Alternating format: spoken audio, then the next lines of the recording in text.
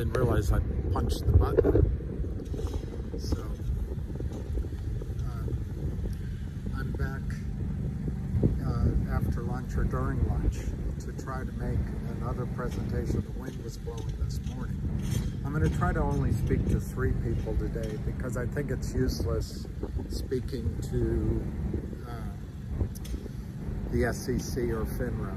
Uh, I don't think FINRA is ever going to do anything. It's a self-regulatory body and uh, takes no interest. But FINRA, if you're listening, you should look into Alpine, the prime brokerage, Alpine, uh, I forget the rest of their title, but it's Alpine Prime Brokerage. I think they're in cahoots with these guys here. You should also look into uh, Kurt Kramer acting as an unregistered securities dealer. And then you should look into all the dozen, maybe even 20 market makers that are trading in GTII and then FNGR and then in hundreds of other stocks on behalf of naked short sellers who sell stock that do not exist. Um, I've already, I, I hope uh, Mr. Grewal listens. Uh, I think he may be the only hope for an honest uh, man at, at, at the SEC.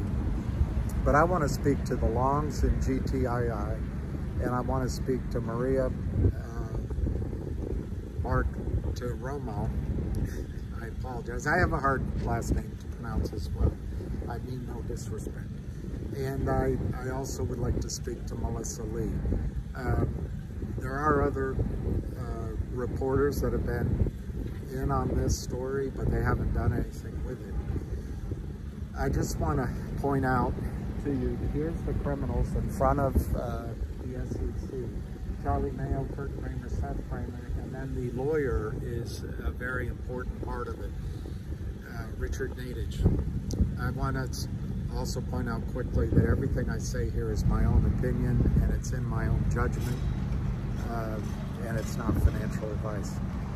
Gary Gensler asks for a level playing field and he says he wants a level playing field, but he does nothing to solve this problem. Why? Because Goldman Sachs makes a lot of its income in uh, uh, the stock loan department. So Goldman Sachs has a vested interest in lending out shares whether they exist or don't exist. This gentleman might be the only help. Herbal uh, might be the only honest man at the SEC who might be able to help here. And I hope he has an opportunity to look into this. It's a bus coming. But here's Finger, 103 million shares naked short in the last fortnight. Uh, Maria and Michelle, what's going on here, I'll get to GTII, but in Finger, they have a 13 million share market mark public float.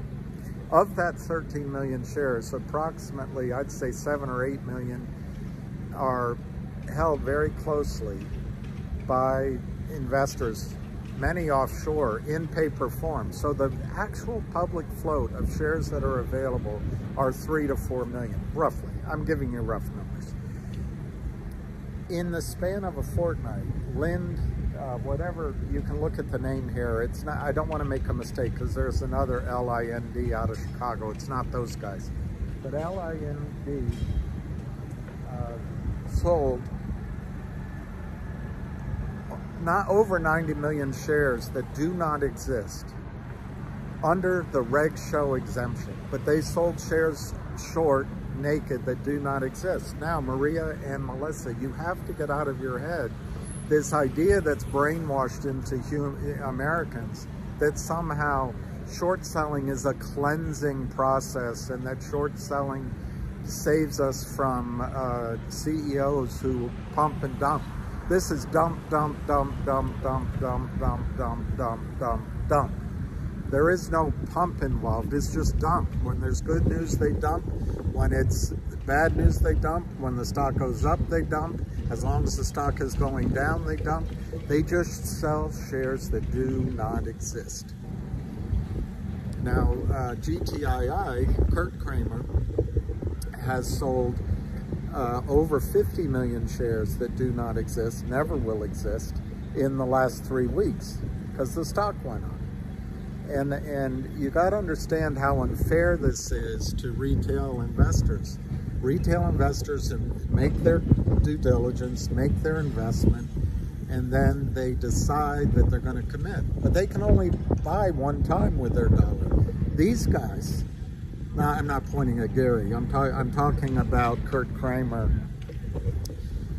He can sell a stock that doesn't exist. He can sell a stock that doesn't exist once. He can sell a stock that doesn't exist twice. He can sell a stock that doesn't exist three times, four times, a hundred times. He can sell, as he just did, 52 million uh, shares that do not exist. He sold in the last 20 trading days. Prior to that, he had sold at least 150 million shares that do not exist. And, and guys, everyone listening, and Maria and Michelle, these are not shares that ever will exist in GTII. They never will exist. Okay, how is it done, Maria? There's only four tickets in the United States if you're on the financial side of the business. Four tickets. One is to buy. You have to pay cash at settlement. Two is to sell stock that's in your account. Three is to sell stock short that you locate, that you borrow, that actually you've entered into a contract to borrow. And the fourth is the reg show exemption that the geniuses at SEC created. It, the, the reg show exemption helps only the brokerage business. It does not help and the criminals. It does. I'm not pointing at Gary Gensler. I'm pointing at uh, uh, Kurt Mayo uh, Charlie Mayo, uh, Kurt Kramer, and Seth Kramer, and then his lawyer and the rest of the cabal. They, they, under the exemption of Reg Show, Goldman Sachs created a button, and I think it's in one of the movies, Margin Call or, or uh, The Big Short, one of those. They created a button that all you have to do is hit it that says, well, we did a reasonably, yeah, we, we feel comfortable, we looked a bit, we kind of feel like sort of we're going to find the shares. And that's all the market maker needs. Well, why in a time of computerized systems do we need all these shady market makers? Why do we need that button? Because companies like Goldman Sachs and then all the all the uh, hedge funds that they finance and they accept business from want to look the other way because it creates assets under management, it creates commissions, it creates fees, and it creates uh, uh, interest earned on the, in the stock loan department. Here are the criminals.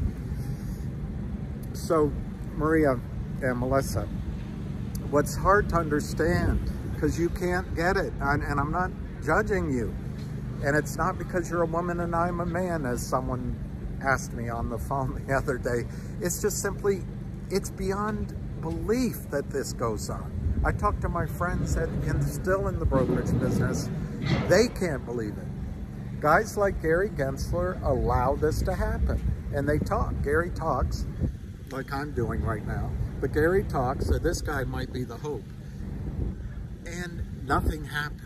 Why? Because there's so much money in it. What One thing that happens at uh, Maria and Melissa is companies like Merrill Lynch, they don't allow their brokers to buy stocks under $5. No research. And in fact, if you transfer in stock under $5, it, often they tell you to sell it. Guess where the money goes? Goes into pools of managed money, assets under money management, earning one or two or three percent. And then the hedge funds make two percent per annum and 20% of the profits because they're they're so smart. But then they can't get the rates of returns unless they juice their returns with uh, obviously access to IPOs, but also with this kind of uh, arm's length fraud going on. So anyway, uh, what I'm asking you, Maria and Melissa, to look at is that they, these guys, in the case of Lind, L-I-N-D, they sold almost 100 million shares that do not exist. They, they, they just aren't there. But it's allowed, this kind of selling is allowed by Gary Gensler. He does nothing. And in the case of GTII, they've sold almost 200 million shares that don't exist, never will exist. There isn't a contract to, to create them. And Gary Gensler does nothing. But he talks about having a level playing field. Well, the only way to level this up would be allow longs to buy shares and promise to pay in 35 days. Oh yeah, we'll send the money. Oh, my dog ate it. Uh, I'll get it next month. Let's move the trade around from Merrill Lynch to, to Goldman Sachs to Morgan Stanley over the next few months while we, while we juggle whether we're gonna settle. That's the only way is to let retail do that kind of shenanigan. It's the only way to level the playing field under Gary Gensler because he's not gonna do anything. And FINRA down over on K Street is useless. Uh, absolutely useless. So let me ask you something, Maria and Melissa. A lot of the longs on this uh, video bought shares in, in stock of GTII and Finger. And by the way, if you think I'm here to promote just two stocks, that's not the case. He might be leaving now. He might be leaving because he's been asking. But what a good job he's done. Um, we're in front of the SEC, and uh, I'll try to finish this up pretty quickly since maybe he's under pressure to go. But Maria and Melissa, let me ask you something. The buyers of those certificates put the cash up at settlement. What do they have in their account? Everyone that bought 50 million shares of, of GTII, whether it's a good stock or not stock, I'm not arguing that what did that? What's in their account? what's in their account? What in the case of Finger? 90 million shares. What is in the, the cash paying investor from the United States of America mostly? What's in their account? How can this be justified? I don't know where to look. I apologize. I the wind is blowing.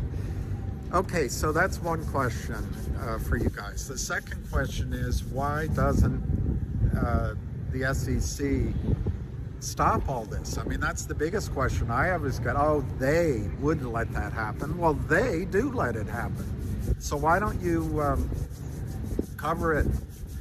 The risk to the system is ma uh, massive. Um, imagine if these shares are covered and Alp, for GTII and Alpine, Alpine Prime Brokerage goes bust. And then it ripples into other prime brokers in 20, 30, 40, 50, 100 billion dollars. Who are they going to blame? They're going to try to blame Bernie Brothers or or whatever what do they call it Reddit Reddit Brothers or meme stocks. It's not that. It's because the SEC's not doing its job. I saw Gary Gensler complain that he only has 4,500 people working for him at the SEC. Maria, Melissa, go on to GTI at Twitter. There's a guy named ham at shortkiller.com or, you know, Twitter at Twitter he's been doing this for 23 years, fighting the shorts.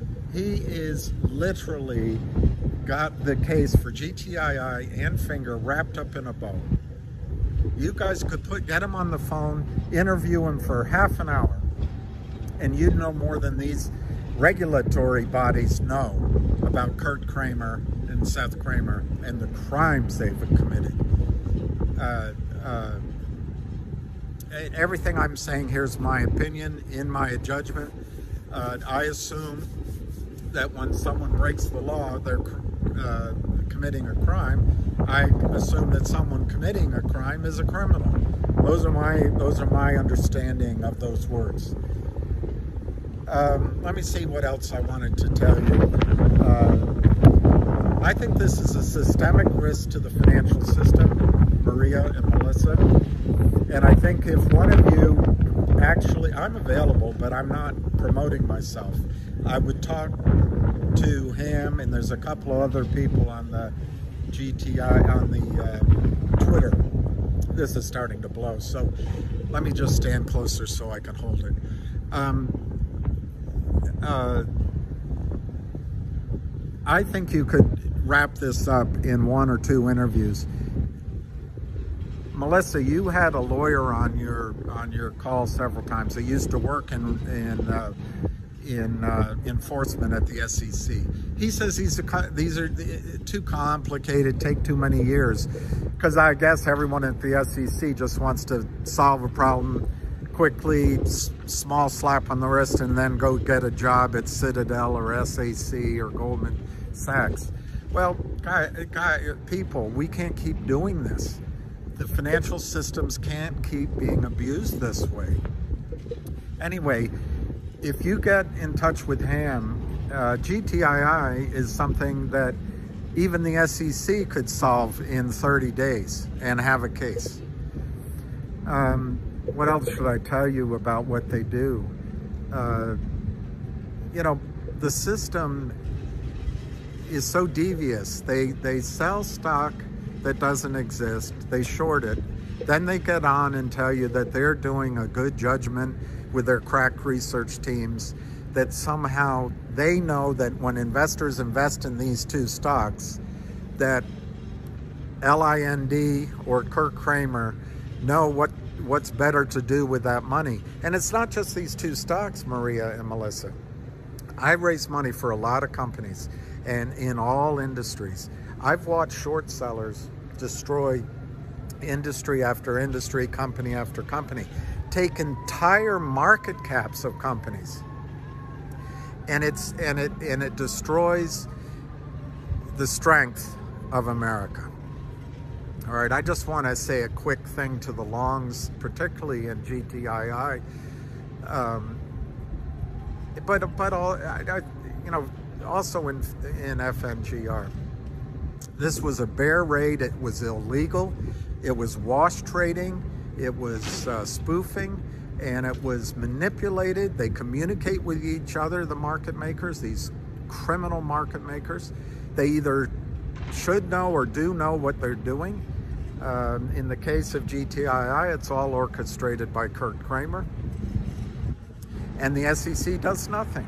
So that's why Maria and Melissa, I, I turn to you and pray that you can at, at least look into this. It's much bigger than the bumper sticker responses of, well, short selling is good for markets. It protects people. No, it's robbing. It's robbing entire uh, uh, industries and companies. And do you think that when the big brokerage firms don't let allow buying in stocks under $5, that it's not like shooting fish in the barrel? Uh, one other thing I want to bring out, Maria and Melissa, is under under um, the current government that we have. I'm not criticizing it.